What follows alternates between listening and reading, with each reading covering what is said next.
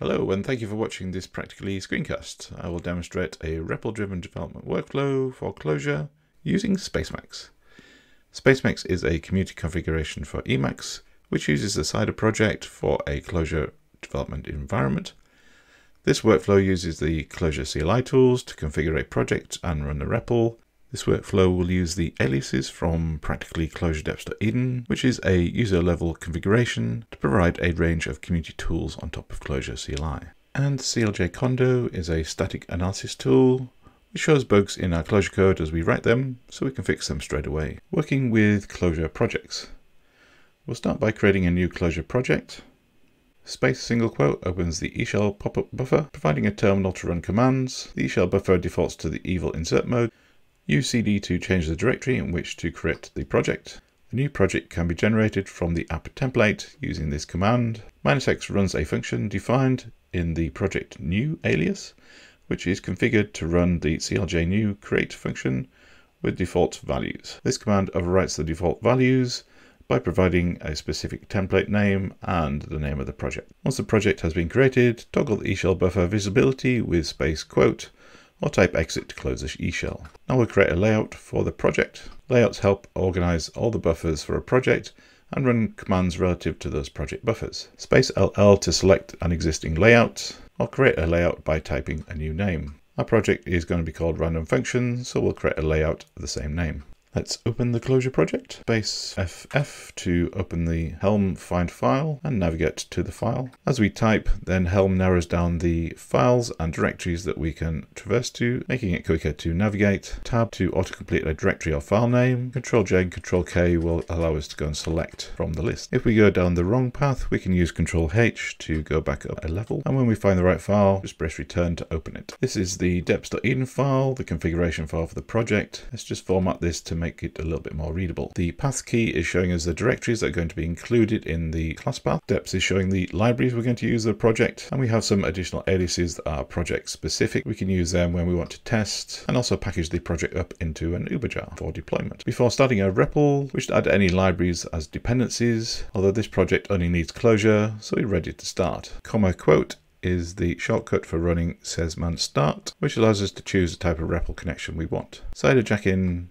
CLJ, we'll start a Clojure REPL using the deps.edn project configuration and connect the editor the REPL once started. There is an indicator in the mode line to show that we are running a closure REPL. You can also use comma M for the connection management menu and hit I to show that we've got a REPL connected. We go back to that menu and do browse, Sesman browser. It shows us all the Cider sessions we've got running. Things are getting a little bit slow, Are you're using up all your memory. You can quickly come here and jump to the projects that are running a REPL and shut them down if you want to. Q to quit. So REPL is running. Okay, let's switch to the source code buffer. So space find file, and we narrow down to source, practicalli random function. And here we have the sample code that's generated by the template we use. Source code buffers are more effective than the REPL buffer, as evaluation is always done in the context of the current namespace. To work with Cider effectively, first evaluate the source code buffer, and we use the evaluation menu, comma E, and B for buffer. This loads in all the code from this particular file. And now the Clojure core functions are loaded into the REPL and Cider features like help have in the information that they need. If some of the code in your buffer is not compiling, evaluate the namespace instead. So comma ENN. This is also enough to load in Clojure core into the REPL. When I'm starting with a new project, I create a rich comment block for REPL experiments, and I created a REPL snippet for this which also includes metadata to tell clj-kondo lint tool to ignore duplicate names. This is very useful when designing your own functions. Using a comment block means that if we go back and evaluate the whole buffer, then the code that we write inside the comment is not evaluated. To start writing Clojure code, we type the open paren, and like magic, Clojure mode will automatically add the closing paren for us. This keeps the structure of our code intact. As we type names of functions, suggestions of matching functions appear, along with the documentation, and we can use Ctrl J and Ctrl K, or the up and down arrows, to navigate through the different functions. The project being developed should return a public function chosen at random from a given namespace, showing the documentation for that function. Here we can see we have the Clojure core NS publics, which returns a map of the publicly interned mappings for the namespace. That's going to give us all the function names from a particular namespace. And we can press tab to auto-complete the name. We can also get help by doing comma HH to look at the CIDER doc, and it pops up another buffer with the documentation information, when it was added to Clojure, and where it's actually defined. So we could actually go and look at the source code as well. If we needed to see what it did, then we've got all the details there. Let's delete that buffer and go back. We swap back to the documentation buffer. We can see it also shows other functions that are related to this one. Okay, back to the code. And we notice that there is a little squiggle underneath the start of this expression. And a pop-up shows us that NS publics should be called with one argument, but currently we're calling it with zero. So this is clj-kondo giving us a quick hint that we haven't quite got our code right, and so we can fix that straight away. We do space E and capital L, this shows us all the Flycheck errors that we have so far. And in the list, we can just press enter to jump to any of these errors and go and fix them. Uh, we've also got a warning here of this unused binding argument because in main, we're not using the args argument. So uh, we'll need to fix that at some point too. Let's go back and just fix this error now. Star ns star is a dynamic variable which points to the current namespace. So we'll use that as an initial argument. And you can see the squiggly line is now disappeared, so our linter is happy with our code. With clj-kondo providing live linting, it's like having a friendly person constantly pairing with you and helping you avoid lots of little mistakes. Let's evaluate this expression to see what it does. Comma EF is going to uh, CIDER eval. This means it's going to evaluate the top level expression. And we can see the type of value that NSPublics is returning. It's a hash map with the key as the short name of the function and the value as the fully qualified name. If we want to keep a record of what the expression evaluates to, we can use the evaluation menu again, but this time it evaluates the top level expression and return the result as a comment. This is quite useful as you're exploring what your code is actually doing. Let's copy the code uh, and then we can try with a new namespace. Capital D will delete the end of the line and leaves the closing parens in place. And we can type the symbol name for Clojure at core, which should have over 500 functions in there with the cursor anywhere in or on the parentheses. Evaluate top level form again, turning the results and it's capping the results to about 100 in the UI and it's showing the end of the results in the mini buffer. The results are and it's giving us a suggestion of how we can inspect all the results. So comma D is the debug and inspection menu. And we can go and press V to inspect values and we want to go and have a look at the last result. And it's showing us that the type of this result is all contained within inside a ClojureLang persistent hash map with key value pairs. And we can use N and P to page through all of the results. Pressing return on either the key or the value will show more of its details. So here we can see this is a symbol as a key with a value of plus and we can use shift L, go back and do the same thing with value. Here we can see we've got some metadata, when it was added, the namespace it's in, the name and so on. So this might be quite useful for us to investigate for our project. And when we're done, we can just press Q to quit. Let's see if we can just get the function names from the hash map.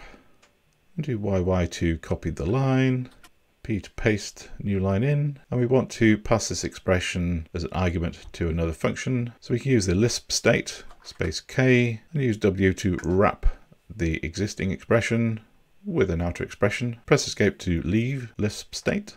As we know that NS NSPublics is returning a map, we can use the keys function which is going to return a sequence of the keys. So that gives us all the short form names of the functions. And we can also use vals to get the values. So this is giving us the fully qualified names of those functions. And that's probably going to be useful because that's where all the metadata was. As we know the value is going to be large, rather than simply evaluating the expression, we can use the CIDER inspector to evaluate and show the result at the same time. Comma dv shows the CIDER inspect menu, and we use F to evaluate the top level expression and show the results. We can see this is a sequence, and we can scroll through. Uh, we can also dynamically change the page size, and this time it's showing us more information on each page. If we keep the CIDER inspector open, it will update the values as we evaluate different expressions. Let's just move it to the side using the window menu and capital to move it to the right. And we can resize the window that it's using. And we can use space ZX to also scale up and down the size of the font it's using. Space 1 will take us back to our code. If we're just using EF to evaluate the top level form, then it's going to also update the CIDER inspector. We want to get a random function. Let's copy that expression, P to paste, wrap that expression, and we want something random. So by typing rand, it's showing us the different functions that are already part of Clojure core. And if we look at rand nth, it's returning a random element of the sequence collection. Uh, as we have a sequence from vals, then that looks like the function that we want. You have to evaluate the function. Randint has returned a random function called satisfies, and in the CIDER inspect buffer, we can see the metadata for that function, which we'll use very soon. Our REPL experiments have given us enough insight to start designing our code. Let's create some tests to codify our design. We can use Treemacs as a visual browser, space PT, to show us the directory structure, but also switch between the source code branch and the test code branch. Press return, it'll switch us to the test namespace. Pressing space zero jumps us back to Treemacs. We can navigate back to the source in that way. Space PT will toggle it off again. I prefer to use the projectile way of switching between the two. So we can do space P for the projectile menu and A to alternate between the source code and test code. The namespace requires the Clojure test library I'm going to update by including the specific functions that I'm going to use. And we're including the source code file. I'm going to change this to software under test as an alias using the as key. This is a common naming convention used and it helps us identify specifically the functions we're actually testing. And you can see clj-kondo is underlined, the practicalli random function namespace, because we're not actually using this yet. As soon as we start writing expressions that call functions from this namespace, that underscore will go. Let's create our first test by simply just refactoring the test that's already there. So the def test function defines a test and we give a name based on the function that we're actually going to test, which is going to be public functions. And then we add the dash test to the end of the name. Testing gives us some context in which the tests are run, the purpose of those tests. And if we do get failures, then testing helps organize the test results into groups so we can easily find them in the original test code. The is expression is the assertion for the test, and we can have multiple of these if we wish. Is is simply comparing whether something is true or false. If it is true, then the test passes. If it's false, then the test fails. Let's change this assertion. And we should be getting back a sequence when we call public functions with a given namespace. Let's save the file. We can use the test menu, comma T, and A to run all the tests. Oh, we've got an error and we've got a message saying there were no tests. Let's try and fix these. So in the error buffer, it's saying it's got an error compiling random function test and the description is saying no such var public functions. And that's because we haven't created it yet. So we need to go into the random function source code and create a public functions function. Space PA to switch back. And let's write the shell of a function. Type in defen, choose the snippet, which adds a defen expression that we can fill in. And we can press tab to jump between the different sections. And we'll leave the function body empty for now, as this is enough to make the test compile. Save the buffer and evaluate the function definition. So that function is now in the REPL and CIDER test should be able to find it. Run all the tests again. So we don't get an error, but it is saying that we can't find the tests did I forget to use is in my tests? Well, no, I didn't because is is right there. So what, what is going on? Okay, let's see if we can diagnose why we're getting this error. To help us understand whether this is a CIDER error or a error with our code, we can run an external test runner. Space quote will open up our eShell again, and it's done so in our current location. Let's just cd up to the root of the project using the clojure command and the test kaocha alias from the practicalli clojure Depth Eden project. We can run the kaocha test runner on our project. Let's just make that window large so we can see the results. And we see it's actually running. Okay, it's actually running the test. We are getting a fail because we've got an empty body in our test. So we can actually see that it's returning nil uh, rather than a sequence, but it is actually running our test. So there is a difference between external test runners like Kaocha. They will run the files from the file space. But the Cider. test runner needs everything inside the REPL. If we switch to the project configuration file, we can see that we've got the source and resources directories in the path, but the test directory is only included when we use a particular alias. So we need to tell Cider how to add the test directory when running the REPL. Let's use the REPL manager to quit the REPL.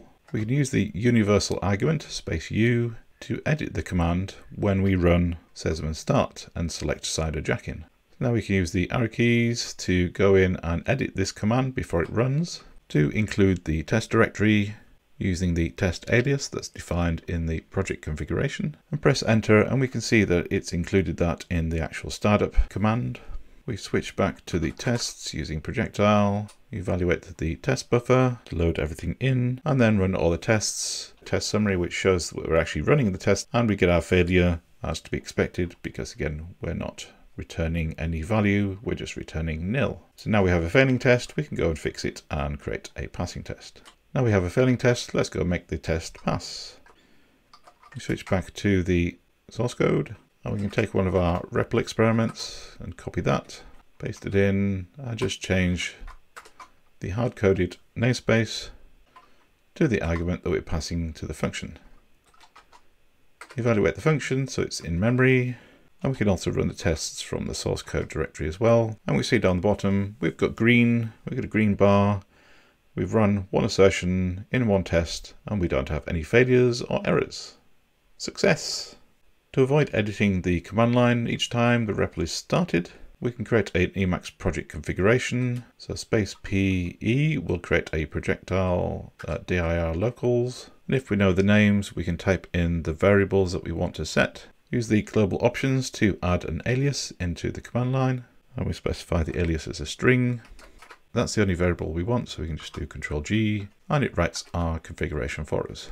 It's recommended to specify the particular mode that we want to apply this variable in, just to make clear where it's supposed to be used. We don't need this again, so we can close that buffer. We do need Emacs to read that file, and the most effective way of doing that is reverting uh, a buffer from the current project. So we do space space revert buffer and say yes to confirm. Now if we quit the REPL and start it again, now we can see it's using the M test in there by default and everything is good. So it's very useful to add a dir locals file before you get started with any project. Uh, if you want to check the command that's used to start the REPL, switch to the message buffer and you can see that there is a starting cider session entry followed by the actual command that's used to run the REPL. And we can see our alias is included in there. Let's continue developing the project by writing some more tests, creating functions, and maybe also a little bit more experimenting in the REPL. Okay, we've seen that when we were using the Cider Inspector, there's some more information we can get from each function. So let's jump down to the rich comment block and experiment. Using the relative numbers down the side, we can see that we want to jump to a line that's 20 lines away. So we can type in 20 followed by J and it'll jump to that line and press O and start a new line. It's a very effective way of moving around using Evil and the relative line numbers. Let's take uh, one of our existing functions.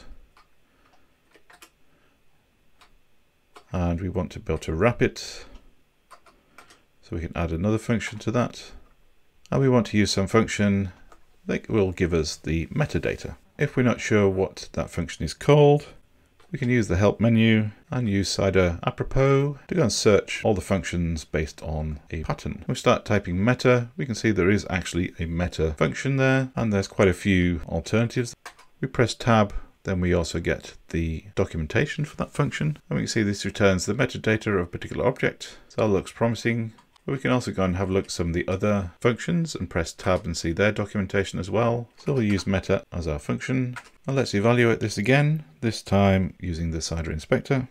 So this is giving us a persistent hash map with keys that will help us retrieve the particular piece of information that we actually want to use. Is there anything else we can do that's interesting with namespaces? Let's use the help apropos. Start typing namespace. You can see there's quite a few functions there. We're already using publics. What do we want to have all of the current namespaces? Let's see if there's something in the closure core that will help us. Let's use the help apropos and we want something like all ns. Oh, excellent. There is an all ns function. Pressing tab and this is going to return a sequence of all namespaces. Perfect. We don't get error from our linter, so it looks like we can actually use this without any arguments. Can always go back and check if we can't remember. And actually a quick way of looking is when we do a space after the name, we can see in the mini buffer that it's actually showing us the function signature underneath. And I assume this is going to be a fairly large result. So I'm going to use the CIDER inspector menu and see the results. Can see that it's actually bringing in all of the middleware that CIDER is actually using, uh, as well as the Clojure core, uh, some nREPL, CIDER all. So when it says all namespaces, it really does mean all namespaces. And there are quite a lot, 198. If we wrap that with NSPublics, we're going to get an error because we're passing in a Clojure lazy sequence and we're expecting a Clojure symbol.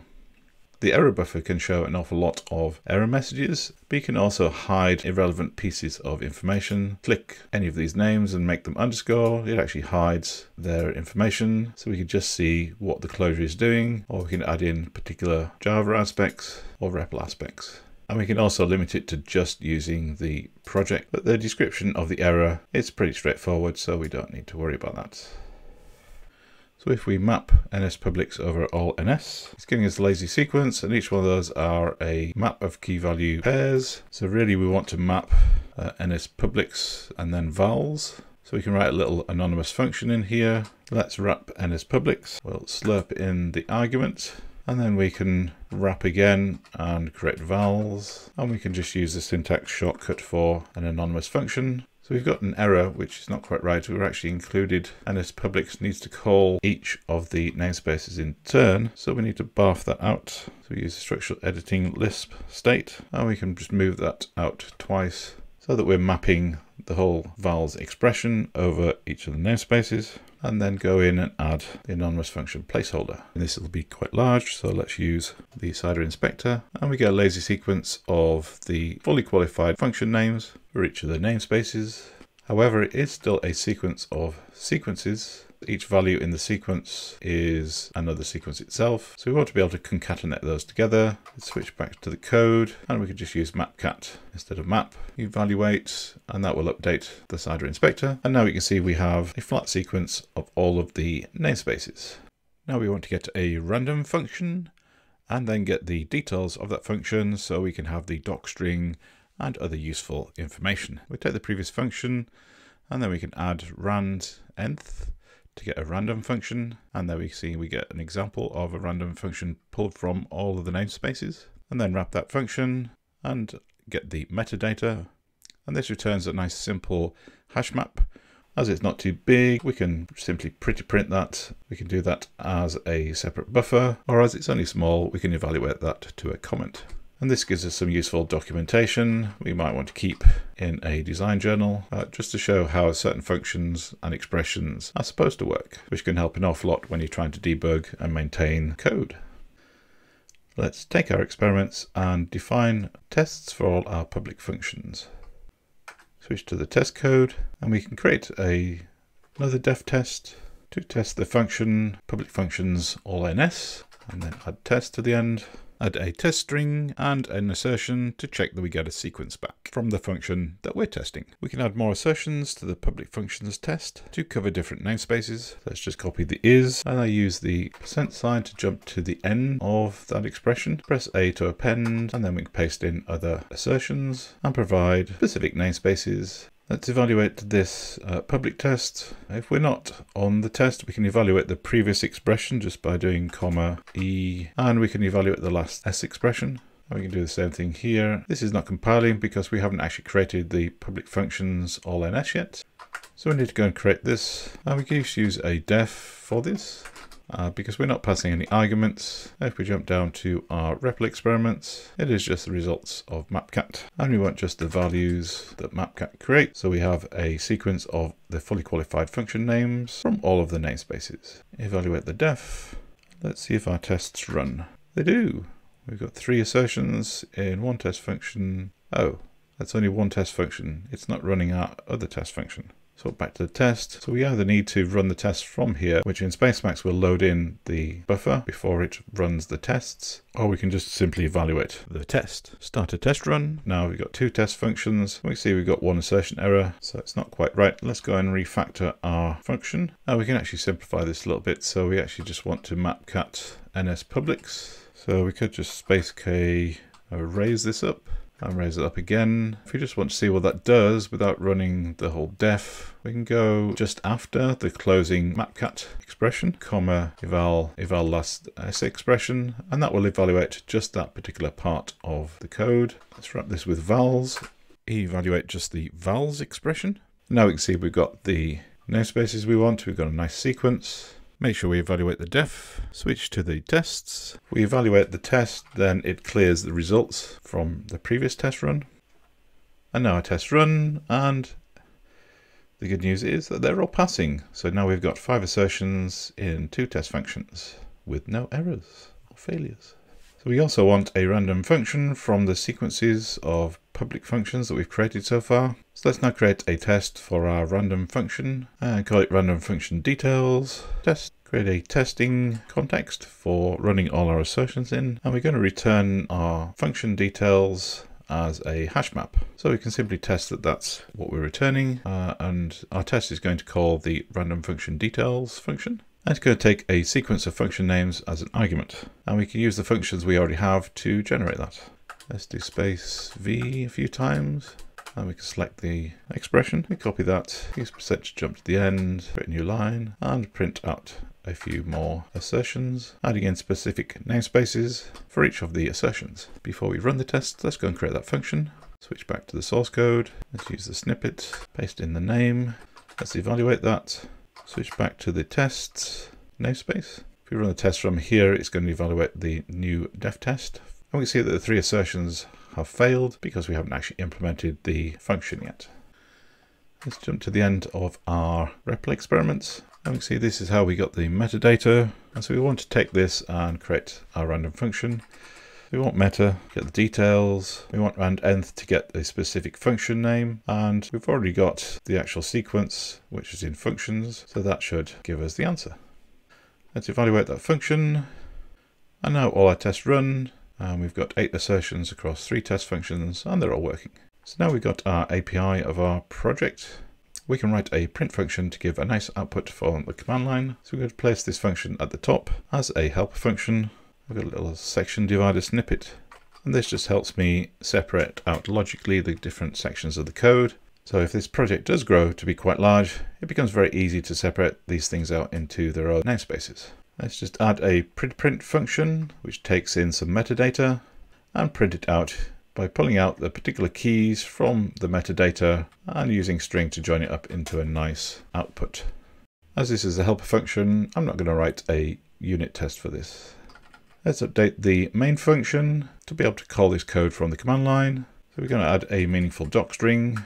When you've got two cases, it's either going to take no arguments or one argument. So let's do the zero argument case and create a, a single argument case. And just to be safe, we'll create a variable argument case as well, but with one fixed argument. So if there's no arguments, then we are going to call pretty print function which is going to format the random function details for all the public functions in all the namespaces. The one argument branch is going to be the same as above, except we're going to call public functions with the given namespace name. And if somebody calls this more than one argument, we're just going to call main with the namespace name. And let's be friendly and just print out a little warning message if we look on line 45, our linter is showing that we've got an unused binding. Replace it with an underscore, which is a common approach to having a name, but you're not interested in the actual value. And you can see the linter error has gone, so it's teaching us idiomatic Clojure as well. So there we go, a project created by REPL Driven Development for Clojure using Spacemacs. There are many more features of Spacemacs and Clojure development. However, I think we've covered many of the important ones. Take a look at the Practicalli Spacemacs book for examples of how to use Spacemacs, not just for Clojure development, but also general usage of using this amazingly powerful editor. and also being able to understand how to make the most out of Vim and Evil Mode, and visit the Practicalli website to see all the latest live broadcasts and recorded videos, and subscribe to the Practicalli YouTube channel to be notified when a new video is released. Thank you for watching and good luck with your own development projects.